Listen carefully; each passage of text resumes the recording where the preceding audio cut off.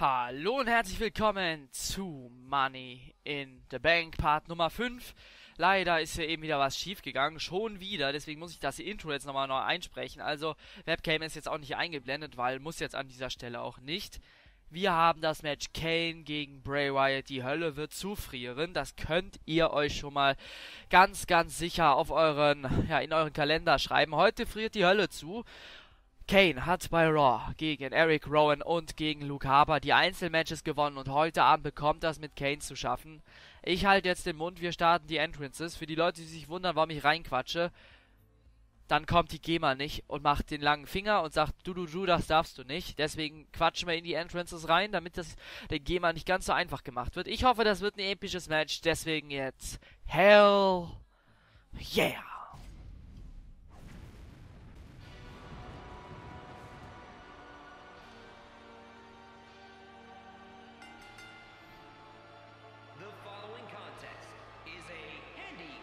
Das große rote Monster.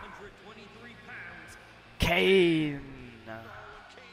Kane, mein Favorit für dieses Match. The Big Red Machine hat gegen Eric Rowan gewonnen, gegen Luke Harper gewonnen und jetzt steht als nächstes Bray Wyatt an. Und wenn er den besiegt, dann alle Achtung Kane, das würde ich schon hart feiern.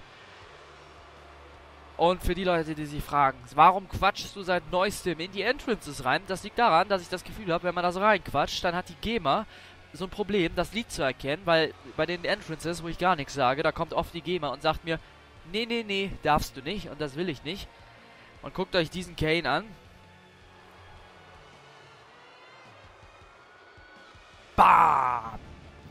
Das macht einem schon ein bisschen Angst, das Ganze. Kane mein Favorit für dieses Match gegen Bray Wyatt. Auch wenn Bray Wyatt noch ungeschlagen ist, heute bekommt er seine erste Niederlage, glaube ich. Ah, und dann jetzt Bray Wyatt, der Verschlinger der Welten. Spiel bleibt immer da hängen, komischerweise.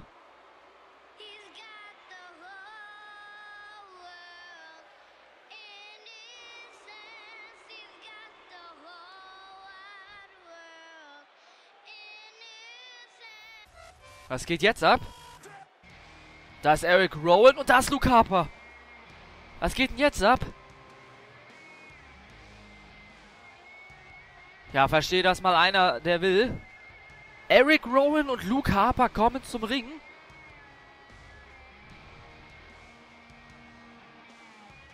Was soll das denn jetzt? Soll jetzt Kane gegen Luke Harper und Eric Rowan antreten?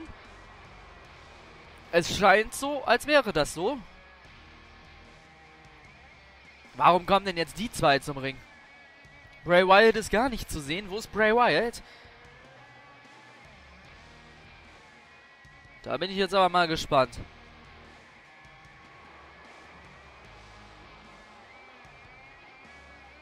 Jetzt geht das Licht aus und da sind sie. Ja, Eric Rowan und Luke Harper. Aber wo ist Bray Wyatt? Und es sieht so aus, als würden jetzt die beiden antreten. Oder kämpft jetzt einer von beiden nochmal gegen Kane? Dass Bray Wyatt sich einfach nicht traut. Ne, irgendwie auch nicht. Kane steht da natürlich jetzt und guckt sich das Ganze an und fragt sich, was soll das denn? Wo ist Bray Wyatt? Jetzt gucken sie. Ich habe keine Ahnung. Was geht jetzt denn hier bitte ab? Ja, die zwei im Ring. Haben wir jetzt hier ein Handicap-Match oder was ist passiert? Ja, Stone Cold könnte uns diese Frage auch mal gern beantworten. Mir egal, aber was ist jetzt hier Sache? Was haben wir jetzt für ein Match? Ein Handicap-Match. Tatsache, Kane gegen Luke Harper und Eric Rowan. Beide einzeln hat er besiegt bei den Raw-Ausgaben, aber jetzt soll er gegen beide antreten, aber in einem Tag, also Handicap-Match, aber mit Tag-Regel, also dass Eric Rowan und Luke Harper sich abwechseln müssen, also einwechseln müssen. Ja, Body Slam gegen Kane, da geht ja schon mal gut los. Seltsam, seltsam, seltsam, seltsam. Wo ist Bray Wyatt, der eigentlich für dieses Match gegen Kane geplant war? Schickt hier seine Lakaien in den Ring. Ja, und Eric Rowan schlägt direkt mal ja hier auf Kane ein. Close Line an den Hinterkopf.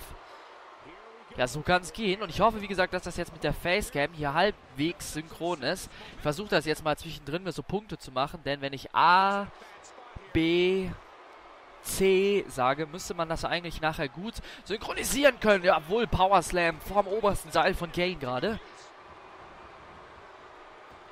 Ja, in die Seile, aber DDT von Eric Rowan. Ja, die haben es ja eigentlich drauf, die Riot Family, ganz ehrlich. Wenn die drei immer zusammenarbeiten würden, dann würden sie schnell in der WWE alle Titel halten. Aber jetzt haben wir halt dieses Problem hier. Wo ist Bray Wyatt? Tut sich einfach raus, tritt nicht an gegen Kane. Ja, wahrscheinlich Kopfspielchen von Bray Wyatt. Ja, und jetzt muss hier Kane gegen zwei antreten. Gegen Luke Harper und gegen Eric Rowan. Jetzt Torture Rack. Ist das ein Torture Rack? Torture Rack Backbreaker von Luke Harper. Das sah eklig aus. Torture Rack allein ist ja schon eine harte Submission-Aktion, aber dann auch noch sowas. Wenn er den dann auch noch auf den Nacken drauffallen lässt. Heieieiei, das tut schon weh in der, ja, was ist da? Rippen? Das tut alles danach weh. Aber guckt euch Kane an. Wo der hinschlägt, da wächst kein Gras mehr. Aber ein Luke Harper ist so stark, habt ihr es gesehen? Wirft einfach Kane von sich weg. Welcher WWE-Superstar kann das sonst von sich sagen, einfach mal Kane wegstoßen zu können? Den stößt man nicht so einfach weg. Das ist eine Lokomotive, der Kerl. The Big Red Machine. Aber Kane, mein Favorit. Stellt euch mal vor, der gewinnt hier. Vielleicht am besten noch mit einem Double Chokeslam. Ich würde hier ausrasten. Ich würde hier alles kurz und klein schlagen, wenn Kane hier mit einem Double Chokeslam gewinnen würde. Schön. Schlägt da auf die Brust von Luke Harper ein. Und jetzt geht's nach draußen. Und jetzt muss Kane natürlich aufpassen. Und da kommt der Backbreak, nee, der Neckbreaker von hinten von Luke Harper. Habe ich ja noch nie gesehen. Und Big Boot von Kane. Der hat auch voll gesessen. Super Aktion, also das Match gefällt mir schon wieder gut. Das ist wieder so ein typischer Schlagkampf von Lugapa und von Kane. So war das Match bei Raw auch. Aber das hat am Ende ja auch Kane gewonnen nach dem Chokeslam. Ich glaube, gegen Eric Rowan hat er auch nach Chokeslam gewonnen. Ich weiß es aber nicht mehr ganz genau. Deswegen nagelt mich da mal nicht drauf fest. Ah, Kane zeigt's an. Der will das Match beenden. Und jetzt Test auf Stretch. Mehr hat mehr Power. Ja, Lugapa gewinnt dieses Duell. Was jetzt? In die Seile. Dropkick. Puh. Das ist schon eine gute Aktion. Das erste Cover. Eins. Kane kommt raus bei 1. Komm, Kane. Alte Dominanz, das muss Kane wieder ja, hinkriegen. Hatte Niederlagen vor Monaten gegen Cody Rhodes zum Beispiel bei Raw, wo man sich dachte, was ist mit Kane los? Aber jetzt vom Top Rope, der Back Suplex. Huh, wenn die zwei Heavyweights das machen, da kann schon mal der Ring implodieren. Kennen wir ja, Mark Henry, Big Show, Big Show und Brock Lesnar, die können da ein Lied von singen. Aber wieder gekontert, der Irish Whip in die Seile. Spinebuster auf die Matte. Und jetzt vielleicht das Cover von... Ja, nö, kein Cover von Luke Harper. Greift nochmal das Bein an. Cover. One. Aber Kane kommt wieder raus. Gott sei Dank. Kane ist mein Favorit. Und das ist halt das Problem, was Kane haben wird. Die Wyatt Family kann sich halt immer wieder auswechseln. Und das bedeutet, Kane muss quasi beide erstmal komplett K.O. kriegen, bevor er dieses Match entscheiden kann. Weil ganz ehrlich, wenn er jetzt Chokeslam zeigt gegen Luke Harper, hätte er immer noch keinen Sieg sicher, weil dann kommt Eric Rowan und unterbricht das Ganze. Das kennen wir ja. Ist ja auch komplett normal in einem Handicap-Match. Komm, Kane, aber wieder. Er kann keine Aktion zeigen. Und jetzt landet er in der Ecke. Und jetzt der Wechsel zu Eric Rowan. Und das ist nicht gut. Hab hier meine gute Arbeitskleidung noch an. Hier kann ich ja mal zeigen. Moment, bisschen höher. Da, da sieht man's. Wer es lesen kann. Guckt euch wieder Luca, äh, Eric Rowan an. Das hat er schon mal bei Raw gebracht. Was macht er da? Drückt er mit seinen Fäusten so den Schädel zusammen? So sieht es zumindest aus. Und jetzt das Cover One. Ja, Gott sei Dank kommt Kane da raus. Kane, Mann, ich setz doch auf dich. Für mich ist Kane das einzig richtige Monster in der WWE. Bei uns ist das auch immer noch, meine Meinung. Und jetzt ein Submission holt und der ist super platziert von Eric Rowan. Wie soll Kane da rauskommen? Ist das die Aufgabe und der Sieg für Luke Harper und Eric Rowan?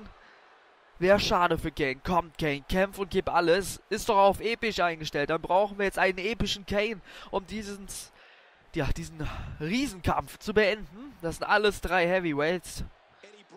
Ja, er lässt Kane raus, weil Kane einfach nicht aufgibt. Kane hat hier einfach den Willen zu gewinnen. Schöner Konter von Kane. Das war wieder super wichtig. Und Running DDT gegen Eric Rowan. Wunderbar. Komm, Kane. Hier sind bestimmt genug Leute gerade, die das Video gucken, die dir die Daumen drücken, Kane. Aber Konter von Eric Rowan und jetzt daumelt Kane vom Job Rope, Double X Handle. Hat aber nicht ganz funktioniert, da kann Kane wieder kommen. Und Body Slam gegen einen Eric Rowan, das zeigt, wie viel Kraft Kane hat. Leg Drop hinterher. Und jetzt komm Kane, vielleicht mal den Choke Slam out of nowhere, das würde mal wirklich was bringen. Ja, was jetzt? Schickt ihn ins Seil, Close in den Rücken, nochmal und Na, nicht, nicht ein drittes Mal. Aber jetzt Luke Harper. Jetzt hält er Kane fest. Das ist natürlich jetzt das Problem. Und jetzt kann die Wyatt Family da zusammenarbeiten. Da gibt es den Chop gegen Kane. Ah, was kommt jetzt? Ach, diese Rolle. Diese Rolle von Eric Rowan. Wie lange kann Kane noch durchhalten? Kane muss einen Chokeslam bringen. Irgendwie sowas. Jetzt hat Luke Harper ihn, äh, Eric Rowan über Power Slam gegen Kane. Das Cover. One, Ne, Kane kommt schon raus. Ich dachte, da wird vielleicht noch mehr kommen, aber kam nicht mehr. Kane, komm, zeige alles, Junge. Knie gegen den Kopf, jetzt juckt auch noch meine Nase. Komm, oh, was ein Close-Line von Eric Rowan. Jetzt kommt er mit Anlauf und der Big Splash gegen Kane. One, two. Nein, da kommt Kane raus. Ich dachte, es wäre drei, aber da kommt Kane raus. Und jetzt muss Kane alles geben. Jetzt hat er den Big Splash, den Finishing Move von Eric Rowan schon mal weggesteckt. Jetzt muss er das Match auch noch gewinnen damit das auch noch einen Sinn hatte. Leg Drop hinterher von Kane. Vielleicht ist das große rote Monster jetzt richtig wach und auf 180 und dann ist Kane meiner Meinung nach unaufhaltbar, wenn er wirklich jetzt quasi im Rage-Modus ist. Aber da muss er jetzt wirklich abgehen.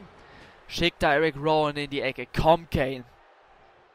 Ja, bam, mit dem Close Line. Genau da, wo es weh tut. Und jetzt Kane, mach weiter, wieder Leg Drop. Eric Rowan muss mittlerweile auch angeschlagen sein. Könnt ihr mir sagen, was ihr wollt. Und jetzt vielleicht Chokeslam, komm. Double X, nee, Double-Handed Spike, ja, Double-Handed Chokeslam könnte man das Ding nennen. Aber Eric Rowan kann sich da wehren. Tessa Strange wieder mitten im Ring. Ja, Eric Rowan. Jetzt hat er ihn oben zu seinem Power Slam. Und das könnte die Entscheidung gewesen sein. Das ist es vielleicht. One, two, three. Und das ist der Sieg für die Wyatt Family. Eric Rowan pinnt Kane. Damit hätte ich jetzt nicht gerechnet. Also doch, im Endeffekt ja schon. Weil die zwei konnten sich einfach abwechseln.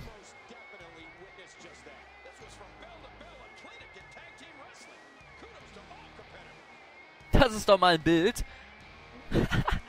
ähm, ich hoffe, es hat euch gefallen. Kane leider nicht gegen Bray Wyatt angetreten. Bray Wyatt schickt seine, ja, sein Gefolge. Luke Harper und Eric Rowan haben das Match ja nicht dominiert. Sie haben nicht immer nur Aktionen gezeigt. Kane hat gute Aktionen gebracht, nur einfach gegen zwei Leute von dem Kaliber ist es einfach auch für einen Kane zu schwer. Wie geht diese Fehde weiter? Kane gegen Bray Wyatt. Wir sind noch lange nicht am Ende. Ich habe doch noch einiges in der Hinterhand und ihr könnt euch schon mal freuen. Bei Monday Night Raw nach Money in the Bank werden wir ein Tag Team Match haben. Genau die zwei hier, Luke Harper und Eric Rowan gegen Kane und einen Tag Team Partner. Und ich denke, jeder, der mal ein bisschen in die Vergangenheit guckt, weiß, was Kane für einen Tag Team Partner haben könnte. So viel dazu. Ich hoffe, ihr seid heiß für Monday Night Raw. Es kommen ja noch übermorgen Roman Reigns gegen Randy Orton und dann das Money in the Bank Leiter-Match. Punk, Del Rio, Jericho, RVD, The Miz, Daniel Bryan und... Ich habe einen vergessen. Punk? Habe ich gesagt? Ne, ich weiß es nicht. Bei einen vergessen. Jericho, Miz, Punk, Del Rio, RVD. Brian? Ich habe hab alle gesagt. Ich hoffe, das hat jetzt halbwegs geklappt hier mit der Facecam. Ich versuche jetzt nochmal einen Synchronitätspunkt herzustellen. A, B, C. Habe jetzt auch noch bis 1, 2, 3 gezählt, weil ich dann weiß, wie das war. Ich hoffe, das hat funktioniert, weil so finde ich Facecam immer cool, so als Pay-Per-View-Bonus quasi noch dazu zu machen. Video war 13 Minuten 30 jetzt an der Stelle. Ich hoffe, es hat euch Spaß gemacht. Wir sehen uns bei den nächsten zwei Videos von Money in the Bank. Bis dahin, hell yeah!